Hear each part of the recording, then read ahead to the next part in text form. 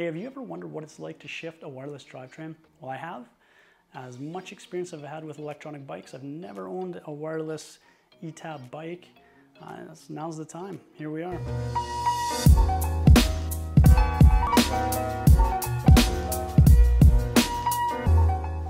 So this is a pretty lengthy video, so if you do want to navigate the video, skip the first build part where I talk through it and go to the SRAM AXS setup. You can navigate that in the description. There's a time code, you just click on the time, and it'll take you there. Uh, you can also check out some of the HD B-roll footage I shot. It gives you a little bit of a closer look at the bike or also the weight of the bike near the end of the video. So I figured instead of doing a build video like I did for my checkpoint, I'm just gonna kind of walk through it uh, and everything you can kind of expect when you get a bike in a box from Trek. First of all, it's usually against their policy to um, ship a bike in a box directly to a customer. Um, but I've been in the bike world for quite some time. I've always built up my bikes for the last 10-ish years. Um, and just a bit of a disclaimer, I will, after putting this bike together, you'll see it's quite simple. However, there are a lot of complicated parts to it, so um, I'll kind of explain it as I go through, but what I'm gonna do after I put the bike together is I'm gonna take it to the shop, have someone who has more experience than me or just a different eye look at the bike and make sure that it's safe to ride. So if you do ever build up a bike at home, I just recommend that you actually get a shop to do it or at least have them check it over after uh, just for your safety. So, so this is the way it comes. Seat frame, all cardboarded up. So the first thing I always do when I have a bike in a box is I put the seat post on. So for a carbon bike or a Trek um, in particular, or if you have a carbon seat post or a bike with a carbon seat mast cap such as this, you'll want to add some carbon gripper. So carbon gripper is, is kind of like, it's like a degreaser or sort of grease. And uh, you're just gonna take a little bit of the carbon gripper and put it inside the seat post. This just prevents it from slipping. And then you're gonna torque the seat post on. Just a little torque wrench. So these are super handy. They're set specifically to about five newton meters and they're really good for seat posts and handlebars. Take the wheels out. Take the box of goodies out and then the bike itself. So Trek does sell a seat post clamp that protects these seat posts, but I don't have one here. So I'm just gonna carefully clamp it.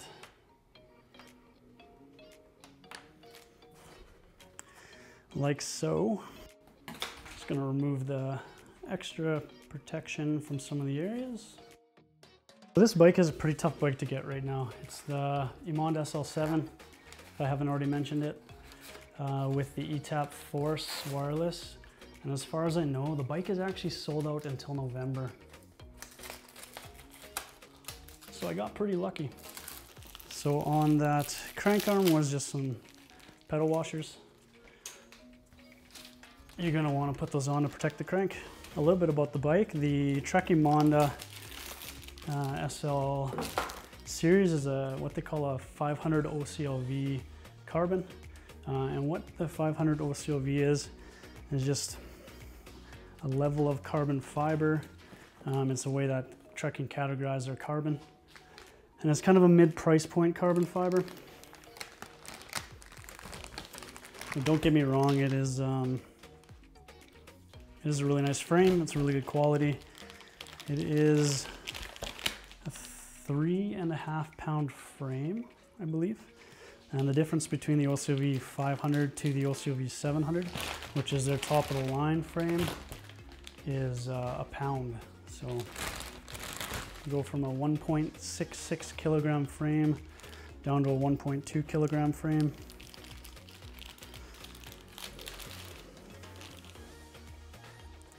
Which I mean is quite a bit, but uh, the frame doesn't really, for me, I don't particularly believe that the frame weight does a whole lot.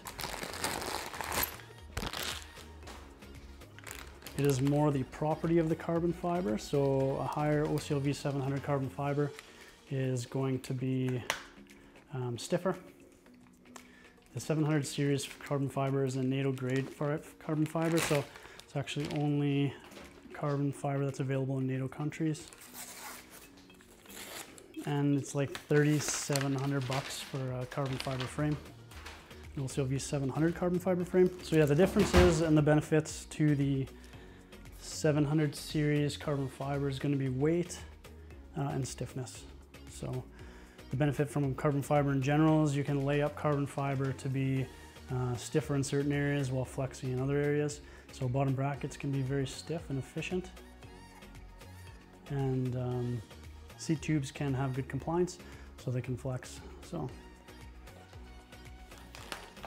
although my checkpoint has a pretty phenomenal frame, and aluminum is getting really good. I did contemplate building up an ETAP bike with uh, Emonda ALR frame, the aluminum one, uh, the purple one, because it's such a good looking bike. Significantly better looking than this frame. So that's one of the downsides to this bike when I bought it was this is such an old paint job. Um, it's a graphic they've used for quite a while and it's never been a graphic that I've liked. Um, so that's a little bit disappointing. All right, let's put the handlebars on just to get them out of the way here. So there aren't too many tools that you need for 5 mil Allen key. They're aluminum bars and an aluminum stem, so you don't need carbon gripper. Uh, some people like to grease them, but I never do. So the bars are, are something that I just feel are, it's not necessarily under spec because of the price point of this bike, but bars are one thing that I upgrade because the performance benefit and the feel of a carbon fiber bar I think is superior to an aluminum bike and you can also drop quite a bit of weight going from an aluminum to a carbon bar. So I will be upgrading those. Now just to talk about the, the spec of this bike. Um, this is kind of in like the sweet spot for bikes that I can buy. Um, I did own a Domane SLR8 last time and uh, that was definitely uh, more expensive than I'm used to. And I just sold the bike because it was too much bike for me. It had Dura-Ace on it. Um, but this bike coming in at around $7,000 Canadian is a, a, little closer to my, my price point. And the way it's spec'd is, uh, is quite nice. So whenever I buy a bike, I look for oops, whenever I buy a bike, I look for a few key things. So I look for carbon wheels, um, a good drivetrain. The drivetrain is kind of the least of all my concerns because, man, even Shimano 105 these days is pretty phenomenal the way it shifts. I look for a good frame, whether it's aluminum or carbon.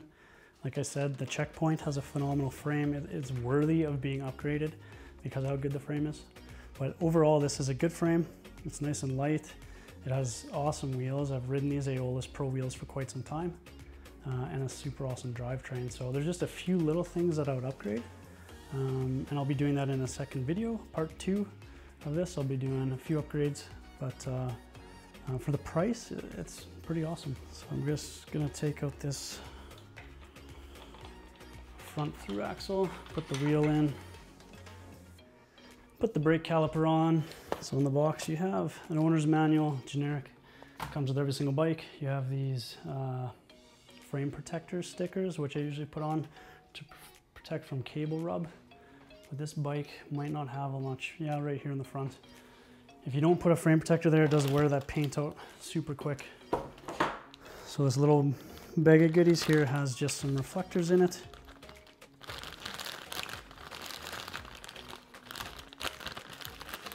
and some adapters for the stem for computers.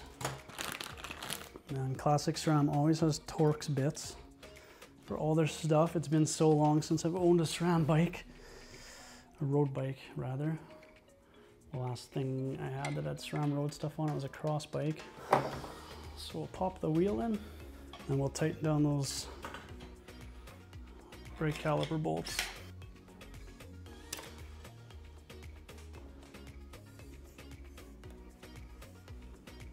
This rotor is just a little bit bent. Bike companies are required by law to ship with reflectors on them. Let's obviously one of the first things that comes off. And we'll remove the dork disc as well.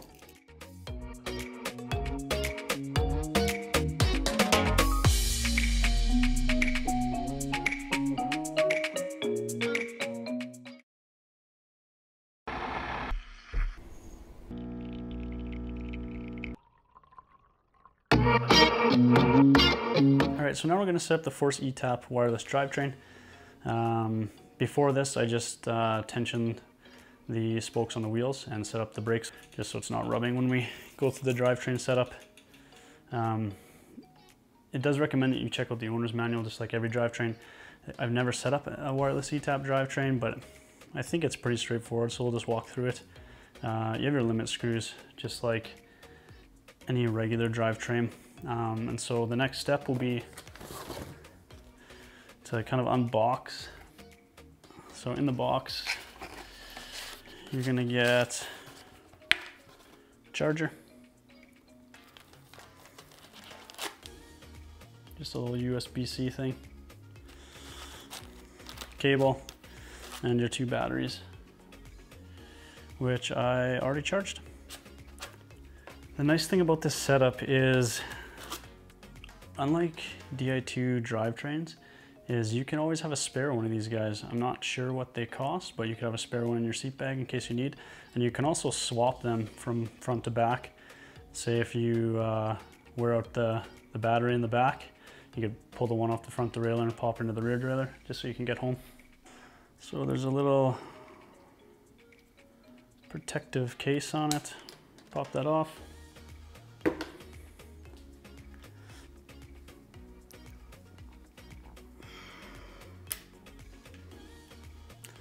Flip up the little hatch.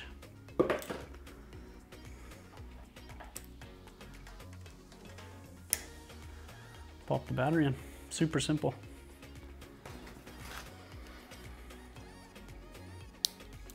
The front shifters have coin cell batteries in them.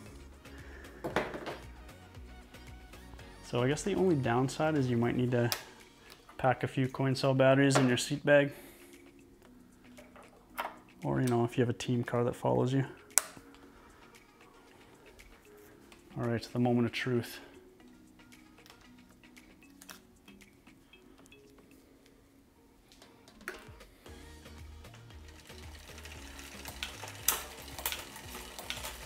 Oh man, that was easy. So I've downloaded the SRAM AXS app.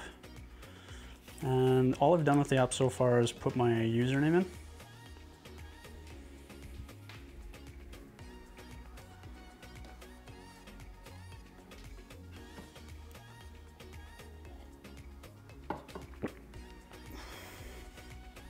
and created an account. So what we're gonna do is we're gonna search for parts.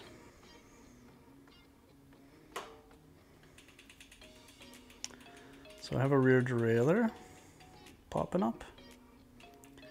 So every component has a tiny little button. And before you set it up, you have to push these little buttons as I just did on the front shifter and update the firmware. All right, that's done. Gotta reconnect every single time. That seems as though half the time the app freezes and you have to reopen it. So here just gives a breakdown of how the gears shift. So your left lever will shift down, right lever shifts up, and a combination of the two shifts the front derailleur. It's, you can customize it, but there's not really too many options unless you just want to reverse your left and your right. So the SRAM AXS app does have an enhanced mode, which is very similar to the Shimano sequential shifting. Basically, it just works to smooth out your gear ratios so you're transitioning up or down as smooth as possible. I found that it just ended up shifting my front derailleur when I didn't want it to, and I couldn't really prepare for it. So generally I would let up on power when I'm shifting my front derailleur, but I really didn't ever know when the front derailleur was going to shift, so it, it made it a little bit weird. I didn't like it and ended up opting out of it. That's pretty much it for the app. Now we gotta figure out how to adjust the gears. Super annoying you want to work on the bike and you want to shift the gears, you have to shift both levers at the same time. It makes it a little bit difficult. This is your bicep and your index finger. Not the best shifting right now. As you can hear. So the way to do this is uh, first we'll set the gear into the second biggest cog in the back. The limit screws have already been set. So now we will fine tune the gears by using the trim function. All right. So then those little buttons I was telling you about, what you do is you hold the little tiny button, basically the pairing button, while you shift the shift lever at the same time. So this allows you to micro tune the gears by moving the chain up or down a fraction of what a normal shift would be like. This allows you to center the chain on the cog, preventing it from rubbing on the cog above or below. There's no reason you couldn't do this while you were riding. Your gears aren't shifting properly. Cool thing about the Force ETAP system is that it actually won't let you cross shift. So I can't even shift down into my smallest cog. The derailleur won't let me. So first impression is it has it definitely has a SRAM feel to it. SRAM to me has always felt a little um, crisper, stiffer spring type feel. I wouldn't say clunkier is the word, but it's definitely not as buttery smooth as Shimano. And I'm fine with that. Shimano Di2 shifts super buttery. Well, that's that. Didn't take me too long, considering I've never done it. SRAM Force Wireless ETAP, very simple system. Uh, let's just hope I don't have uh, the same problem as Malcolm Mollema. Malcolm Mollema with a mechanical issue.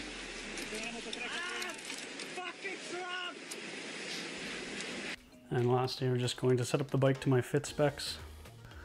One of the many benefits to having a fitting done. Well, that's almost bang on This bike is almost perfectly set up for me already. Fancy that. Now just a heads up, you never want to torque this top bolt down. All this top bolt does is hold this all together. If you torque it down, you can actually pull the flange that's in the steer tube up out of it. And then you won't get this compression that keeps it together and can be a little bit dangerous. Last thing you want is a speed wobble because your headset is loose. Uh, you do torque these ones down though, the stem bolts. It's very important as well that you do torque them down because if you just hand tighten them on, if you over tighten them, you can crack your steer tube. It's dangerous also.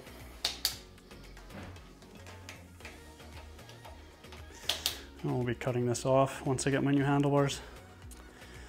Now we'll weigh it.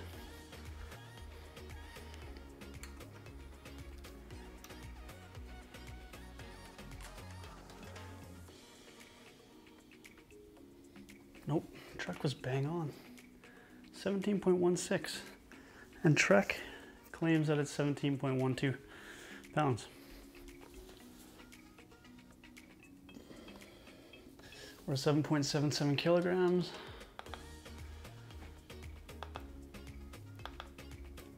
Seven point seven nine, and that is super impressive. That Trek is that close. And there you have it.